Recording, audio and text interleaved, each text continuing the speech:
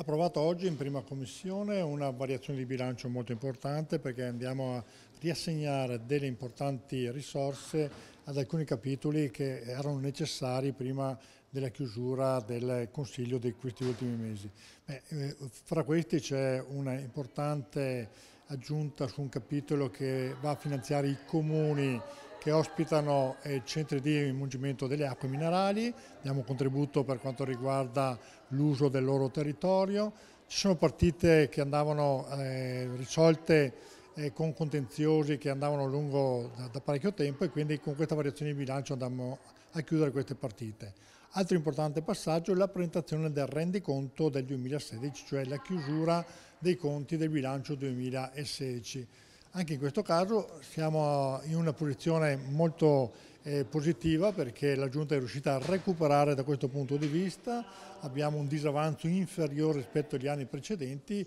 questo ci fa ben sperare perché questo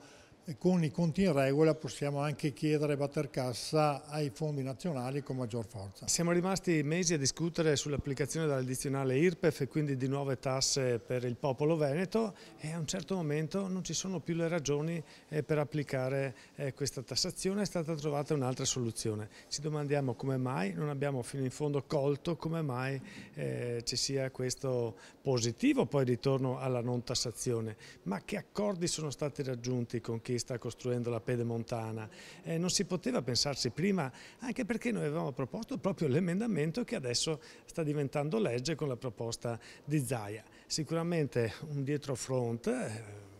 che, che, che, ha dello spettacolare, mancata però la spettacolarizzazione di Zaia che magari viene in consiglio e ci dice come mai ha cambiato idea. Eh, certo che nella Pedemontana c'è un altro accordo con la terza convenzione, con chi sta costruendo la Pedemontana e che dovrebbe anche gestirlo, per cui cambiano i rapporti rischio di impresa, per cui eh, il pedaggio verrà introitato dalla Regione che assicurerà a chi ha costruito e che gestirà un canone annuo molto significativo per eh, 39 anni eh, che consentirà a chi ha costruito di incassare 12 miliardi. È questa la grande novità del rapporto con chi sta costruendo la pedemontana e, e oltre a questo c'è anche questa elargizione, questo contributo ulteriore di 300 milioni che fanno sommare il contributo statale oltre regionale a 914 milioni. È questo che ci preoccupa molto perché abbiamo votato negativamente, parere negativo